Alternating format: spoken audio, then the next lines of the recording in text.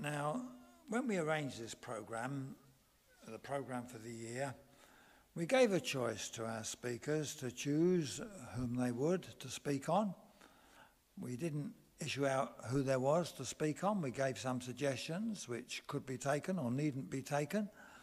But uh, we left it to the speakers to choose the subjects of those persons in history who were foreshadowings of the Antichrist. We are specifically told in the Bible that there is an Antichrist to arise, and we are told quite a lot of things about him. Uh, and as mentioned when Mr. Foster was here last month, he said that all these, all these people in history do give us some idea of what the Antichrist will be like, but none of them really fulfill everything. And we have to wait to see what the final Antichrist will be like. Well, what I was going to say was this Mr. Green chose Herod. That was for originally for April, of course, but um, he was unable to come then. He chose Herod. And then Mrs. Green says to me this morning when she telephoned, Mr. Green won't be able to come. So I immediately think in my mind, well, I shall have to take the subject. When I started to think about it, I, I thought to myself, I wonder which Herod Mr. Green had in mind when he, when he chose the subject, because there's more than one Herod in the Bible, of course. There are more than one Herod anyway, but there are certainly more than one in the Bible. And uh, so I thought to myself, what one should I take? But as I thought about it, I thought, well, it would be a good idea to go through the different Herods, some of the Herods anyway, that are there, we know that are there, and see what it has to say about them. So that's what I thought we would do tonight, as the Lord shall help us. I feel in a way that I haven't been able to do the preparation I would like to have done for, for such a subject, but on the other hand, we trust that the Lord will help us and that what is brought out from the scriptures will be a help and blessing to us all. So I thought that firstly we could think of Herod and the incarnation, and that's the story that we read earlier in the meeting from Matthew chapter 2 in particular. And then secondly, the Herod who a little later was there in the time of John the Baptist, so it's Herod and John the Baptist. And then thirdly, as we think of the record in the Acts of the Apostles, thinking of Herod, Herod and the Apostles. So they're the three little thoughts, the three little, the three Herods really. Herod and the Incarnation, Herod and John the Baptist, and Herod and the Apostles. If you will turn to, to um, Matthew chapter 2, you will see that Herod was king in Judea, under the Roman Empire, of course, but he was king in Judea at the time that the Lord Jesus Christ was born. And in this chapter, the second chapter in Matthew, we read that it was wise men from the east that came to Jerusalem. They wouldn't have been Jews, they would have been Gentiles. They came to Jerusalem and they came with this question where is he that is born King of the Jews? They didn't have the question, Is there a King of the Jews born? But they said, Where is he born? They seemed absolutely certain that the King of the Jews was born. And they gave the reason for their coming. They said in this verse 2, We are come to worship him. There was a purpose in their coming. They wanted to worship. And they explained that. It wasn't just a question of, of uh, curiosity. They came, they said, to worship him who was born. This to me is all very interesting the wise men, as they're called, translated here in our authorized version, as they're called here, came and, and asked this question in Jerusalem. But before all this happened, there had been a wonderful thing that had occurred. Shepherds were in the fields of Bethlehem, an angel came and spoke. Well, angels came and declared, it was declared to these shepherds that the Saviour was born. The wording was, Unto you is born this day in the city of Bethlehem a Saviour who is Christ the Lord. And the shepherds went to the manger where the Lord Jesus Christ in the in the um, part of that the inn where he was, if you can call it part of the inn, they went to worship him. But nobody in Jerusalem seems to have concerned themselves about it. They didn't seem to stir at all. But when the wise men came a little later on, that soon caused a stir. Because we read in the next verses, verses 3 and 4, when Herod the king heard these things, he was troubled. And it also says, so was Jerusalem. All Jerusalem was troubled with him. They didn't seem disturbed about the wonderful sign from heaven.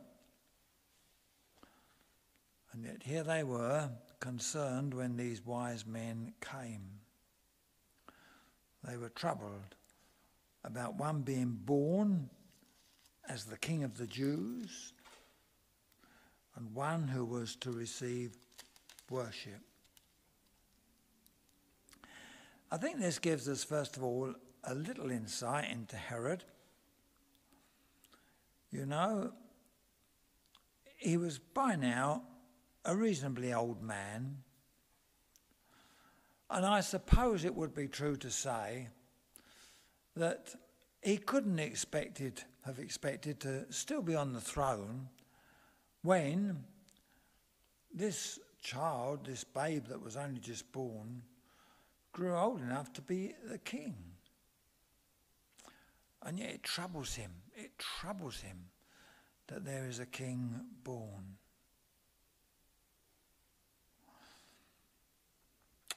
And we go on in the story, don't we? Herod seems to know something about these things, and he, he, he asks the chief priests and the scribes, these men who ought to know. The Bible tells us that people had to go to the priests to acquire knowledge, and the scribes, of course, were the writers who kept accounts of things.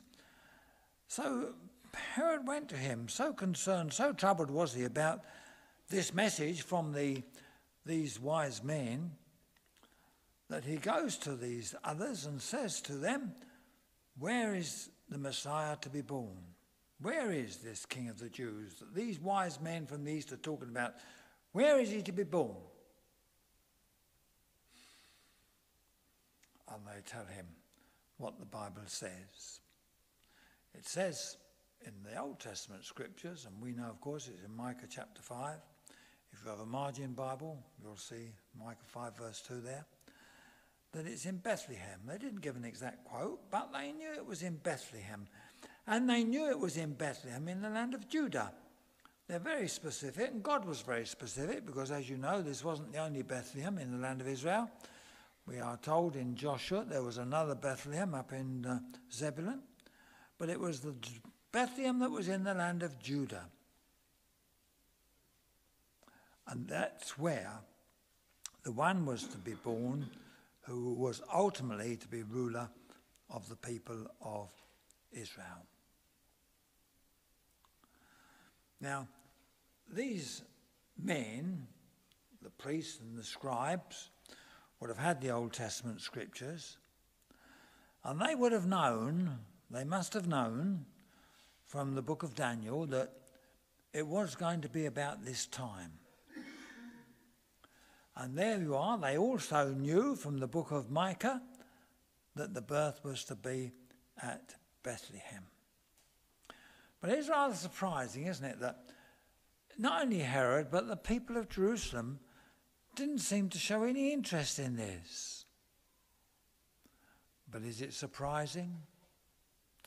You know, we're told of lots of things that will happen before the Lord comes again. But I find that generally speaking, lots of Christians aren't interested in this. They're just not interested in what God says about these things. And you try and talk to them, and they, they think you're a crank. They think you're an eccentric. We find this, don't we? I certainly find it. People aren't interested, and they weren't interested. Of course, there were a few, we could say the shepherds, the shepherds. They took enough interest to go to Bethlehem and, and find out about it. And of course, we read in the Bible there was a man called Simeon. And, and he was thinking of what the Old Testament prophecy said. And he was realizing that the Lord Jesus Christ would soon come into the world. And he was anxious to, to see the, the Messiah when he was born. Simeon took an interest. And we're also told of Anna. Anna took an interest. Anna was there in Jerusalem and she was speaking to people about redemption. She took an interest in these things.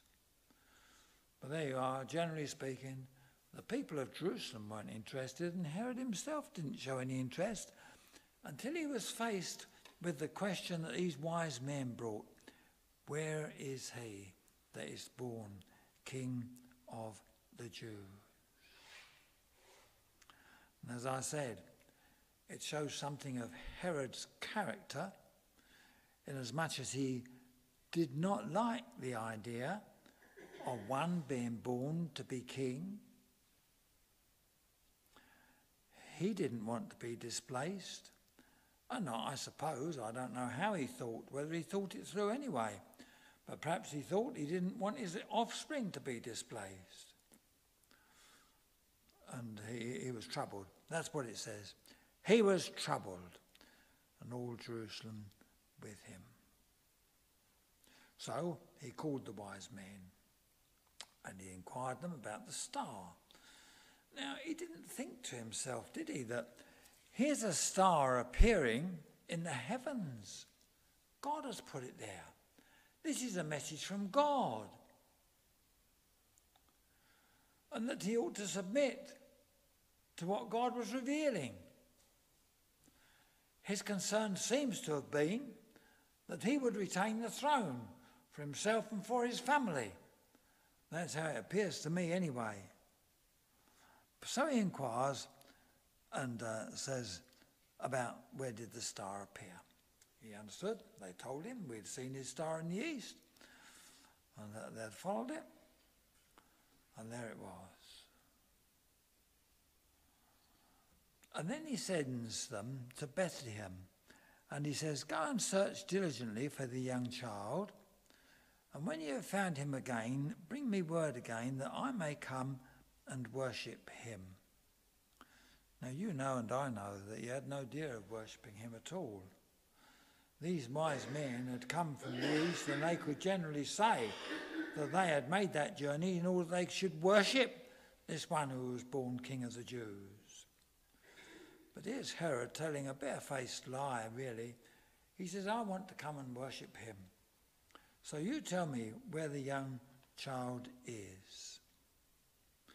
I don't know what you feel about that, but it seems to me that wicked men often act extremely foolishly.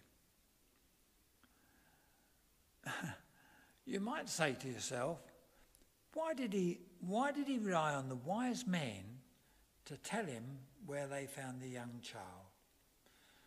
If he didn't want to do it himself, he had plenty of men there in Jerusalem who could have followed the wise man to see where they went? But he didn't do that.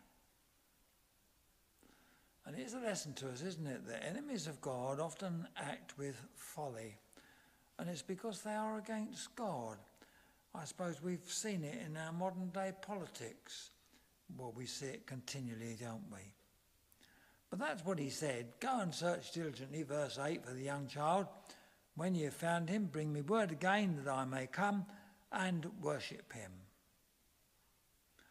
And when they departed, the star which they saw in the east went before them till it came and stood over where the young child was. You could almost say, why didn't they just follow the star anyway?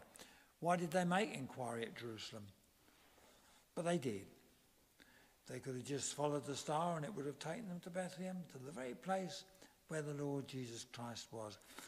But doesn't this teach us, doesn't this teach us that God is in control of all the events? God is a sovereign God, overruling in everything that comes to pass. We call him a God of providence, don't we? And that's what he was doing then. That he should have said, that, the, that is, he, King Herod, should have said to these men, You let me know, we might feel was a very foolish step on behalf, on the part of uh, the king. But God was in control of that. And it's a comfort to know that God is in control of things. And certainly as we think about the rise of the Antichrist, it's good to know that God is in control of everything that will come to pass. God not only knows what will happen, but in his wisdom and sovereignty, he has foreordained all that will come to pass. The next verse is just tell us about the wise men going to the house and finding the young child and Mary, his mother, and they fell down and worshipped him. I, I can't help saying, I think it has to be said whenever you look at this passage, that it says nothing about worshipping the mother. They worshipped him. It's very specific. It was the Lord Jesus Christ. Although he was only a baby, it was him that they worshipped. And they presented to him their gifts. Now, Mary and, and Joseph were very, very poor.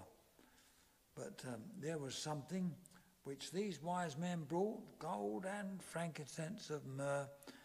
And they were warned of God, says verse 12, not to go back to Herod, but to go back another way. And that's what they did. And then God tells Joseph to take the young child and Mary, his mother, take them into Egypt. You might say Egypt is a funny place to go to when you think of Egypt's history, but that was what God had appointed, and that's how it was to be. And Joseph agrees to do what the Lord tells him to, and he takes Jesus and Mary by night, says verse 14, and departed into Egypt and was there until the death of Herod. So that's the simple story thus far concerning the visit of the wise men to Jerusalem. But it's interesting to see the sequel, isn't it? Because in verse 16, Herod realized that he had been mocked. He realized that the wise men were not going to return to him. The wise men were not coming back to tell him where they found the king of the Jews. And, and what does he react? How does he react to all this? He's exceeding wrath, says verse 16. Exceeding wrath. There's no spirit of subjection to think to himself, well, I've been foolish. The Lord is overruled in this. If God puts a star in the heavens to indicate where the child is, there must be something special about this child in the purpose of God. He doesn't think like that at all. What does he think? He thinks to himself that he'll make sure that he gets this child somehow or the other. And so what does he do? Verse 16 tells us. He sends forth and he slew all the children that were in Bethlehem. Not just in Bethlehem itself, he wanted to make sure that the child wasn't excluded. He would make sure that he got this child dead. And so, not only in Bethlehem, but in all the coast thereof. And here he was given quite a wide berth, it seems to me. Every child that was two years old or less, everyone had to be slain. What a ruthless fellow he was. You know, people love their babies, don't they? You imagine the mothers, all those mothers in Bethlehem in the, and in the coast thereof, having their child slaughtered. Uh, some of us here are fathers, and we know what it's like to have children and love our children. We're, when they're born, we look on our babies and we think how wonderfully they're made. What a wonderful creation a baby is, with all its parts. And in any case, people just love other people's babies, don't they? How many times have you seen people standing over prams and saying, oh, what a beautiful baby? It just happens, doesn't it? And I remember once a, a preacher saying about a baby that the baby was a sinner. And although there were a lot of people Christian there, they were quite offended because they thought it was such a lovely baby. and the preacher had said the baby was a sinner. But of course, the preacher was right. People, but people do think a lot of babies. How, how ruthless and cruel Herod was in just slaughtering all of them. All of them. I don't know how many of the babies there would have been. Perhaps Bethlehem was not a, a large place. There's a carol that says, "O little town of Bethlehem," and of course Bethlehem would have been much smaller than Jerusalem. But even so, there would no doubt been quite a few children who were two and under there. And uh, this is the way Herod treated them. He had them all slain. No wonder Matthew talks about the fulfillment of the prophecy of Jeremiah about the lamentation and the weeping. Great weeping going on for children. It was a very difficult thing. I was thinking that there is a scripture in Daniel chapter 11 which describes the Antichrist. And, and I felt in a way that it could be true of Herod. In Daniel chapter 11 and verse 21, it says, In his estate, it's talking about the Antichrist, shall stand up a vile person. A vile person. Well, I think in a way, however vile the Antichrist may be, Herod is a picture. The Antichrist is ruthless and Herod was ruthless. It wasn't just wicked, was it? It was more than wicked. He, he did this terrible act.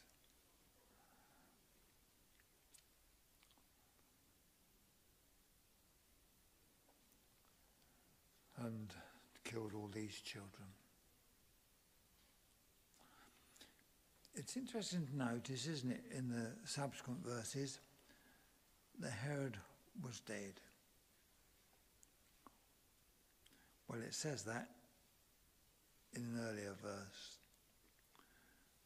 verse 15, unto the death of Herod.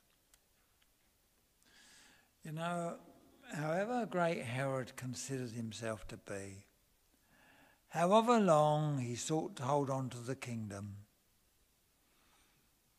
he must fall in the end. We sing that hymn of Spurgeon's at the close of the service. In death, like men, they fall. And of course, that's uh, really the thought comes from the psalm, doesn't it? Princes just fall. They all fall. All the great people of this world they all come to their end. And that will be with Antichrist. You know, when Antichrist comes in and he'll think he's got such power, and he will have great power, there's no doubt about it. He will have great power. But in the end, he'll fall. Going back to Daniel, if you look first at chapter 8, in chapter 8, those verses speak about the Antichrist, verse 23, I suppose, onwards. But it says in verse 25, through his policy, that's the Antichrist policy, also he shall cause craft to prosper in his hand, he shall magnify himself in his heart, and by peace shall destroy many. But look at this last little sentence. He shall also stand up against the prince of princes, but he shall be broken without hand. God will intervene. And of course, when you go back to Isaiah chapter 10, you have the whole story of him marching down into towards Jerusalem. In the end of Isaiah chapter 10, we get his march. You know, he, he gathers all his troops together at Armageddon.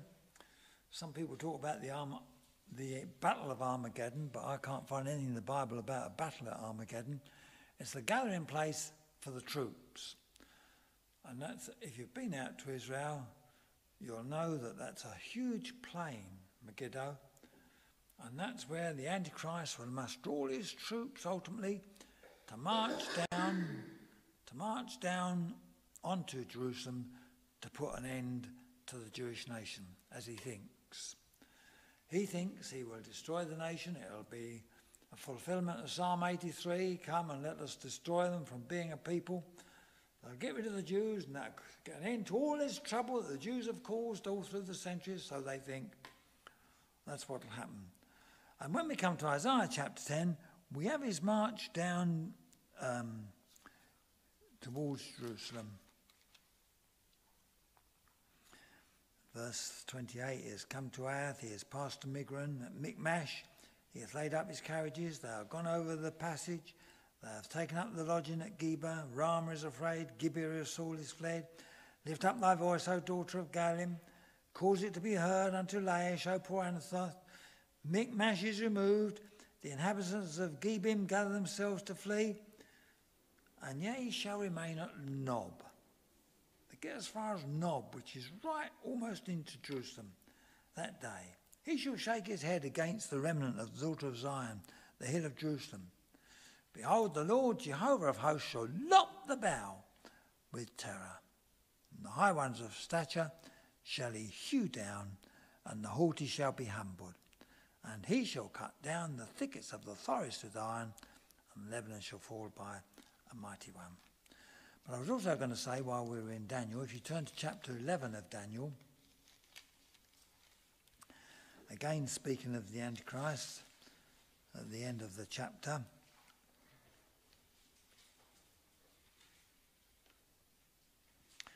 talking there about going into the glorious mountain.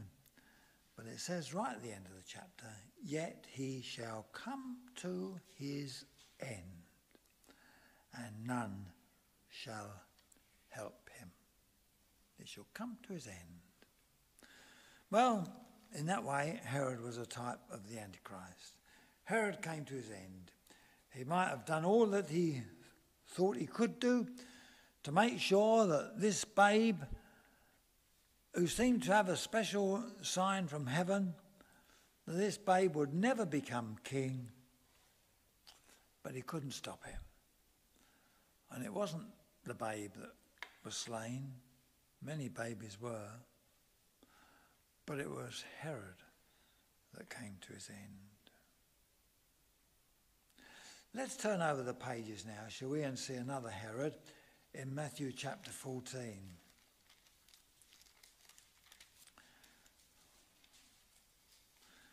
in Matthew chapter 14, this was a Herod, we're told, that had heard about the Lord Jesus Christ. And he was interested to find out more about what he was hearing. He says to his servants, This is John the Baptist. He is risen from the dead and therefore mighty works do show forth themselves in him. I don't know what made him think it was John the Baptist, but he obviously had a very ter- troubled conscience about John the Baptist because the next verses tell, tell us what had happened. Herod had laid hold on John and bound him and put him in prison. But he hadn't done it because he'd done anything wrong, but he did it for Herodias' sake. Herodias was originally Herod's brother Philip's wife. But Herod had taken the wife of his brother and made her his wife. That was something which was definitely wrong. And John had said so. Verse 4 tells us that. John had said unto him, It is not lawful for thee to have her. You're not doing the right thing. John spoke plainly and rightly. He spoke according to the scriptures. He gave, he gave to Herod, this particular Herod, the message of God. So, what did Herod do? Well, he put him in prison. He was frightened to do anything else because of the multitude. He realized the people thought a lot of John, they counted him as a prophet, and he daren't do anything else. Whether he connived it or who connived it all or how it all happened, but it does talk about Herod's birthday coming, and um, this was marked as a special occasion. It's interesting to note, and I expect you've all noticed in the past, that there are two birthdays mentioned in the Bible one in the Old Testament and one in the New Testament. One was Pharaoh's birthday, one was Herod's birthday. And in Pharaoh's birthday, the baker lost his head, and at Herod's birthday, John the Baptist lost his head. But we'll come to that a little bit a bit later. It was the birthday, and the daughter of Herodias danced before them and pleased Herod. And so he promised to give her whatever she would ask. Rather a foolish thing to say, really, but that's what he did say. And she was instructed of her mother to say, Give me John the Baptist's head in a charger. Not just to kill him, but give the head, and to me, that's what I would like to have, in a charger. It says there the king was sorry. Nevertheless, for the oath's sake, and them which sat with him at meat, he commanded it to be given her. Of course, he, he could have said, he could have said, if he'd have really wished, that that's something really that is wrong and I can't do. There's no reason for that. But he didn't. He sent, says verse 10, and beheaded John in the prison. And his head was brought in a charger and given to the damsel, and she brought it to her mother. So John was slain. Uh, it sometimes seems, doesn't it, to some of us that that was a very strange thing. That John the Baptist, heralded by the prophets, not just Isaiah, but Malachi too, John the Baptist should be so quickly taken from the earth. He had such an important work to do as the forerunner of the Messiah. And he was being mightily used in calling people to repentance. And yet, in God's providence, in God's purposes, John was slain a very short time after his ministry had commenced. You think of all that happened at the birth of the, of the, of the Baptist and of the Lord Jesus Christ. John the Baptist leaped in his mother's womb when Mary walked in. Such a, such a man, and it says he was filled with the Spirit from the womb. Before he was born, he was filled with the Spirit. It's a marvelous thing, and yet he comes to his ministry, and in the sovereignty of God, he's taken away in a very short time. But there we are. That's what we're told there. We have another record of the story in Matthew chapter 6. I don't know whether we could just have a look at that now. I think we've got time to do so. Matthew chapter 6, verse 14 King Herod heard of him, for his name was spread abroad, and he said that John the Baptist was risen from the dead, and therefore mighty works to show forth themselves in him. When Herod heard, says verse 16, he said, It is John, whom I beheaded. He is risen from the dead. For Herod himself had sent forth and laid hold upon John and bound him in prison for Herodias' sake, his brother Philip's wife, for he had married her. But John had said unto Herod, It is not lawful for thee to have thy brother's wife. Therefore Herodias had a quarrel against him, and almost like um, some of the wicked queens in the Bible, isn't it? In the Old Testament, Jezebel and um, Athaliah. You know, Jezebel schemed against uh, Naboth and Athaliah, one of the wickedness that she performed. There we are. Herod feared John, knowing that he was a just man. Herod understood that. He was a just man, a holy man. But when a convenient day was come, the Herod on his birthday made a supper to his lords, high captains, and chief estates of Galilee. And when the daughter of the said Herodias came in and danced and pleased Herod and them that sat with him, the king said unto the damsel, Ask of me whatsoever thou wilt, and I will give it thee. And he sware unto her, Whatsoever thou shalt ask, I will give it to thee unto the half of my kingdom. And she went forth and said unto her What shall I ask? And she said, The head of John the Baptist. And she came in straightway with haste unto the king and asked, saying, I will, I will that thou give me by and by in a charge of the head of John the Baptist. Says the king was exceeding sorry, yet for his oath's sake and for the sakes of them which sat by him, with him, he would not reject her. And immediate, immediately, no delay in it, immediately the king sent an executioner and, and commanded his head to be brought. And he went and beheaded him there in the prison and brought his head in a charger and gave it to the damsel. What a thing for a girl to want. And the damsel gave it to her mother. Herod knew he knew what kind of man John the Baptist was. And yet, instead of listening to his message, he was rebelling against God. And it's the spirit of rebellion, of course, in the world that will come to its climax, its fulfillment in Antichrist. I find it rather interesting that Herod thought that John the Baptist was risen from the dead. The Sadducees didn't believe in the resurrection of the dead. I don't know what Herod understood about this, but we know there is to be a resurrection, a final resurrection, of course, the resurrection of the just and the resurrection of the unjust. We read about those resurrections in Scripture. But what did Herod understand about this? What did he know about resurrections? you know, I, I, I don't know.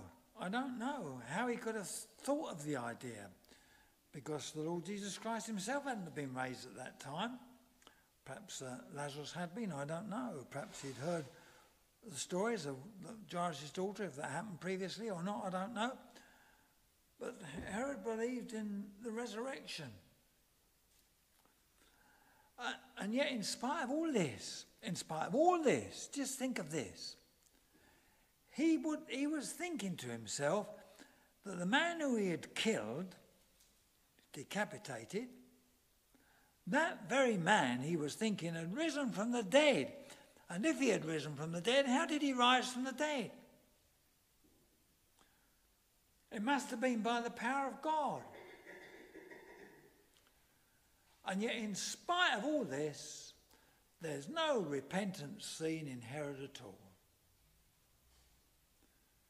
You know, he's just like the other Herod. He cannot take, he cannot take what he might think to be a, a sign from God himself.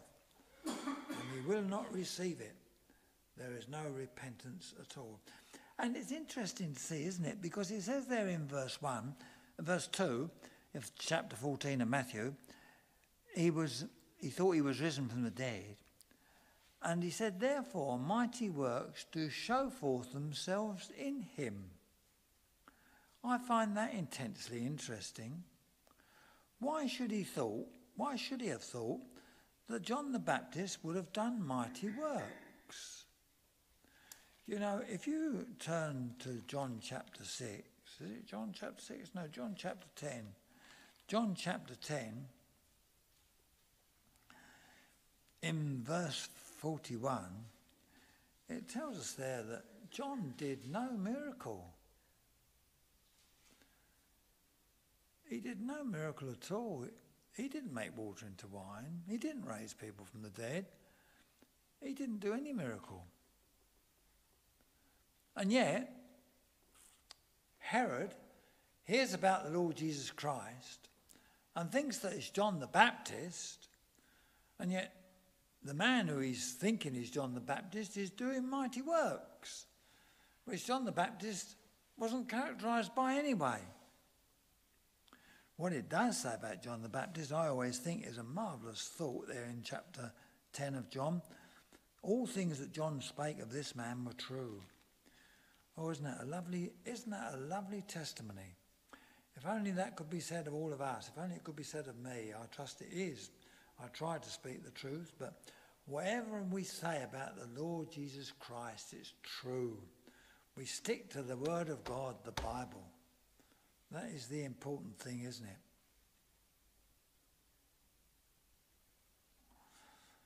And there we have it that this Herod showed no signs of repentance whatsoever and seems very pleased, really, to get rid of John. John had spoken against him, and it was a lovely thing to get John out of the way. People don't like faithful preachers, do they? They just don't like them. While preachers can, can preach softly spoken messages, nice little talks about God is love, they might get on very well. But when a preacher starts to preach what the Bible says, they're not liked. And John dealt with this situation very faithfully. He was a faithful testimony. What he spoke was true. And he laid down his life really because of it. It was in a way like these martyrs in, in um, our own country, wasn't it, in the time of the Reformation. They felt they must speak the truth. In the end, many of them were led to the stake because they did speak the truth. But thinking of Antichrist, you know, when you turn over to Revelation chapter 11, we read the story there of, um, of the two witnesses. It's talking about these 1260 days, verse 3 tells us that. So we know the period that it's talking about. So we're, we're talking about Antichrist's time, aren't we? They're prophesying, they're speaking the truth. They're witnesses to truth. They are God's witnesses. That's what it says, verse 3. My two witnesses. God will give them power to speak the truth. And when they shall have finished their testimony, the beast that ascended out of the bottomless pit shall make war against them, shall overcome them and kill them. Just what Herod did to John the Baptist. Their dead bodies shall be in the street of the great city, which spiritually is called Sodom and Gomorrah. It bears the characteristics of Sodom and Gomorrah. But we're told here it's Jerusalem, where also our Lord was crucified. And they of the people and kindreds and tongues and nations shall see their dead bodies three days and a half, and shall not suffer their dead bodies to be put in graves. And listen to the verse 10 And they that dwell upon the earth shall rejoice over them and make merry. They're glad. What a picture it was. Herodias and her daughter were so happy, seemingly, to get rid of John the Baptist. And so will it be in the days of Antichrist against those who are faithful to God. Now, can I just turn you over to Herod and the apostles, to Acts chapter 12. Acts chapter 12.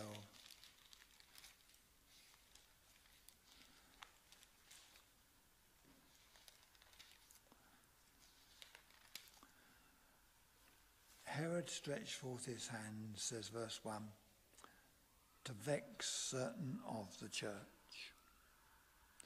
He just went against the followers of the Lord Jesus Christ.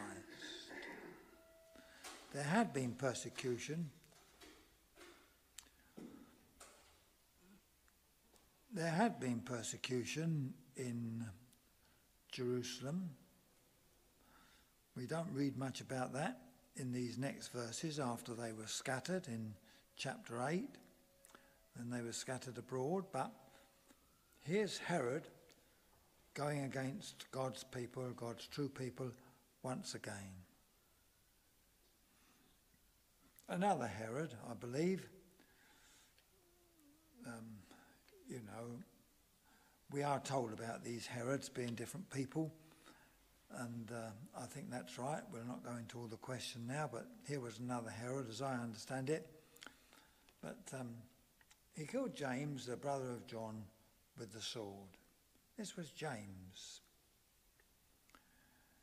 He started off with vexing the church, and then he, he does this act of killing James. Now, James was one of the three special disciples who was with the Lord very often when other disciples weren't, you know, at the Mount of Transfiguration and going into Jairus' home and so on. Peter, James, and John were those who seemed specially favoured. And James, he was the brother of John. And he just slew him with the sword. Oh, I didn't say about the other Herod, did I? But it's true of this Herod. He doesn't, they don't bring them, he didn't, the other Herod didn't bring John the Baptist to court. He just, just slew him. Just slew him. Without any justice at all. And this is exactly what this Herod is doing here. He just killed James with the sword. And then because he saw that it pleased the Jews, he thought he'd go further still. What could be better than to take Peter? Peter had been the leading spokesman on the day of Pentecost. And uh, he wasn't the first pope, of course, as they make out, but he was the leading man. He had been the speaker. He'd been speaker lots of times, I suppose. He used to speak up, but he certainly was the one whom God used. And, and of course, in these previous two chapters, we find about him being used to go to Cornelius and so on. And Peter had previously been put with John in prison. And, and they'd come out of prison. The Lord had taken them out of the prison. We read that in the earlier chapters. Acts chapter 5. I always think that's a marvellous chapter because they came out and went out preaching again about Jesus. And when they were questioned and said, Why, why are you doing this? We told you not to.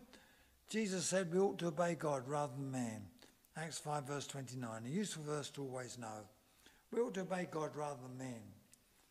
So Peter had come out of prison, but now Herod, in his folly, which he thinks is wisdom, he puts Peter back in prison. But we find here that he's not going to he's not going to let Peter get out this time. He puts him right in a safe place. He has four quaternions of soldiers to keep him. And the idea was that after the Passover, after Easter, as it's called there, or the days of unleavened bread, as it's mentioned in verse 3, uh, Easter may not be the best of translations, but it does tell us the time of year anyway. It was Passover time, of course. But uh, to bring him forth, and he thought that would be the end of Peter. That was his purpose, to make an end of Peter once the holiday period was over. And so he, he put him there in the middle prison. He bound him with chains. That's what we read in verse 2. He had to be kept with soldiers. He was bound to them with the chains. And there were keepers at the door. There was no chance, as Herod saw it, of Peter escaping this time. It wouldn't happen. Herod was going to make sure about that. But you know what happened, and I know what happened. The angel It's marvellous to think of the angel of the Lord, isn't it? And we haven't got time to talk about it now, what the angel did, but the angel of the Lord came there into the prison, shined a light, and told Peter to get up, put his sandals on, and cast his garment about him, and go out. What Peter could do, he had to do. Put his sandals on and put his garment on him. But what Peter couldn't do, the angel did. The angel put all the all the warders, all the soldiers to sleep, and he opened all the doors. And they went right out, first one, then the second one, then they went to the main gate, and that all opened, and then Peter was out. He was out of prison. So it's a marvellous story, isn't it? But, of course, Herod didn't like it. Herod didn't like it. Herod was one who was opposing the church of God. But then the sequel to all this is rather interesting, isn't it? Verse 19 says Herod sought for him and found him not, and put the keepers to death. But this next little part, in chapter verse 20, Herod was upset with people of Tyre and Sidon up there on the northeast. But they didn't like being out of favour with Herod, apparently. So what they did, they made a friendship with the king's chamberlain, a man called Blastus, and they desired to be friends again with Herod, brought together once again. And why was it?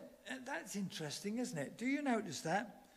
What we've been hearing about this referendum and the and the European Union, it says there in the end of verse 20 why they wanted to be friendly with Herod, why they wanted this union with him, why they didn't want to fall out with Herod was because they were nourished by his country. There was trade. Isn't that just what we've been hearing lately? We must have trade, we must have trade. they obviously got things that wouldn't grow up in Tyre and Sidon, mountainous area, which they could get from Israel. And so they wanted to be friendly with, uh, with Herod. And so this was obviously accepted. Blastus um, brought the message of peace, and the, the, Herod was pleased with all this. And he goes to see the people in Tyre and Sidon and, and glad to welcome them into the fold again. And he says in verse 21 on a set day, he was arrayed in special apparel, royal apparel. He sat upon his throne and he made an oration unto them. And the people gave a shout. All these people were in Tyre and Sidon. And what they said was, verse 22, it's the voice of a God and not of a man. Well, that would have pleased Herod like anything, wouldn't it? Did please him, obviously. He never reproved them and said, No, no, I'm just, I'm just a man. I am a king, but I'm a man. I'm not a God. He didn't say that at all, as far as we read here. When these people were, were so pleased with what Herod had done with his great oratory, how marvelous an impression he had made upon them, so they acknowledged him to be God God immediately stepped in in judgment. Immediately says, verse 23, there's the angel of the Lord again. The angel of the Lord got Peter out of prison. Here's the angel of the Lord again, smiting Herod. Why? Because he gave not God the glory. And here's the sad thing, wasn't it? He was eaten up of worms and gave up the ghost. You know, we're all eaten by worms when we're buried. But here was Herod, eaten of worms, and then he gave up the ghost. And it just goes to show that God can bring upon men things just as he desires. God is in control of all men. Now, I was thinking of this in relation to the Antichrist. And it seems to me that as Herod opposed the church and killed James and sought to do the same with Peter, it's a reminder of what the Antichrist will be like. You know, in Revelation chapter 13, we read a lot about the Antichrist, doesn't, don't we? It says there in verse 15 about power that was given to the false prophet who supported the Antichrist to give unto the image of the beast, that the image of the beast should both speak and cause that as many as would not worship the image of the beast should be killed. Those people who will not submit to the Antichrist, the purpose of the Antichrist will be that they should be killed.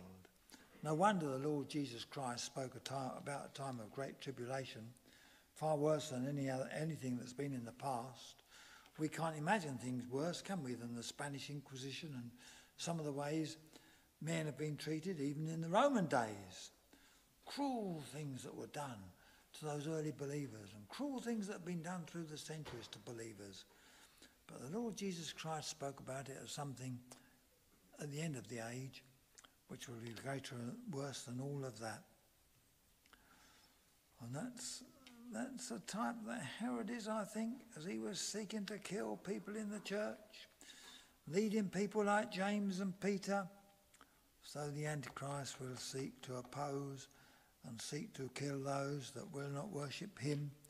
And of course, true believers cannot worship the Antichrist. They will not worship the Antichrist. There may be many professors who will. We believe that there will be many professing Christians who will. But they're only professors and not possessors of the grace of God. But true Christians cannot do so.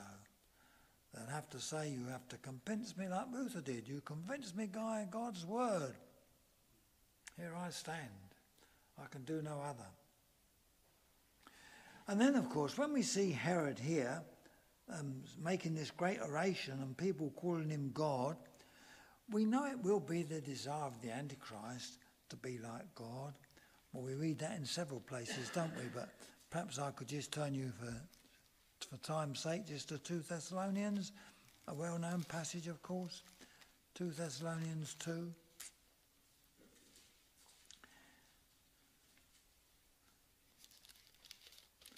It says there in verse 4 um, about this man of sin, the son of perdition, that is the Antichrist who will arise before the coming of the Lord Jesus Christ. It says here, he opposeth and exalteth himself above all that is called God or that is to be worshipped. It'll be worse than any Herod. It'll, it'll seek to get all the power to himself so that he as God sitteth in the temple of God. I understand that to be the temple which will be in Jerusalem, showing himself that he is God. We can quite see the way of this world, can't we? Where ecumenicity is leading to, and how every religion is losing its distinctive. And that's what will happen in a way, it's like Nebuchadnezzar's Babylon. Nebuchadnezzar could see all this in his wisdom that religion was a, um, a curse. It was, it was uh, something that caused wars, something that caused trouble. Do you do open air work? I feel as if I'm always being told when I'm in the open air that religion, all the trouble in the world comes through religion. And, and it does in a way. That's through false religion, of course. But religions are a menace to politicians. And if only they could unite religions, it would be wonderful. And of course, that's what Nebuchadnezzar sought to do. Have no other gods except this idol that he set up on the plain of Dura, this great golden image that he made. Therefore, he could unite all the, all the people in the whole of his empire into one religion to worship this golden image. It was a marvellous thought politically, but of course there were still some who feared God and sought to do what was right. And Shadrach, Meshach, and Abednego, as, as they're often called, they refused to worship the golden image. And of course, that's how it will be at the end of this age We read there in Thessalonians about him setting himself to be God. I believe the temple will be built in Jerusalem and that the Antichrist will place the abomination of desolation in the temple. And that will cause a lot of problems with the Jews, of course. But uh, ultimately, he'll want all to worship him, setting himself up as God. That is the simplest answer to all the political problems if they just have one religion and worship the Antichrist. If they'll all say, Here's God. Well, that's how Herod was pleased to have it, as we've read in, uh, in Acts chapter 12. But it's noticeable too, we've already said this perhaps about a previous Herod, but it's noticeable too, isn't it? The judgment of God fell upon Herod. Verse 23 Immediately the angel of the Lord smote him, because he gave not God the glory. And that's what will happen from the Antichrist. Well, we've already seen that in some texts in the Old Testament, haven't we? But if you turn to Revelation 19, we are reminded of the Antichrist's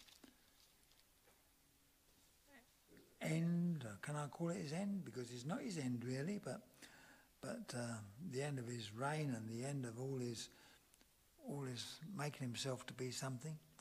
In Revelation chapter 19 and verse 20, it says the beast, that's the Antichrist, was taken, and also the false prophet, and they were both, both cast alive into a lake of fire burning with brimstone. God's judgment will fall on the Antichrist. God's judgment certainly fell on this particular Herod, but it will fall on the Antichrist. But can I mention one other thing? I feel I must do this. I think it's lovely, don't you? And it's a lovely end. We will end here. In Acts 12, we haven't read it yet, but when you go past the time when Herod was smitten by the angel of the, of the Lord, it says there in verse 24, the word of God grew and multiplied.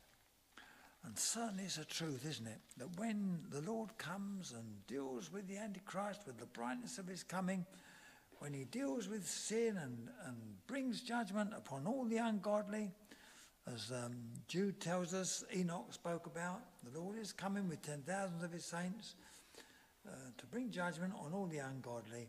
The word of God will grow. Because you turn to a passage like Isaiah 2 or Micah 4, and it talks about that time in Judah and Jerusalem when the Lord Jesus Christ has come again and dealt with sin and sinners. It shall come to pass that the mountain of Jehovah's house shall be established in the top of the mountains and shall be exalted above the hills, and all nations shall flow unto it. All nations shall flow unto it there in Jerusalem. And many people shall go and say, Come and let us go up to the mountain of Jehovah to the house of the God of Jacob. He will teach us of his ways, and we will walk in his paths. Now look at this. The word of God grew, it says, when Herod died. For out of Zion shall go forth the law and the word of Jehovah from Jerusalem. The word of God grew, we read in Acts, but that's in a way just a very poor type. It'll be a wonderful day when the Lord comes and the word of Jehovah will go out from Jerusalem. And it will, it will go out, and the Jews will be the best missionaries the world has ever had to take the message of the, of the gospel to, to people all over the globe. What a wonderful day that will be. And, and I'll tell you what, there won't be any argument about versions in those days. I hold strongly to the authorized version of Scripture, as you know. But there will be no arguments about versions in those days. It will be the pure word of God that goes out from Jerusalem. the pure word of God. So I feel we can close on a happy note.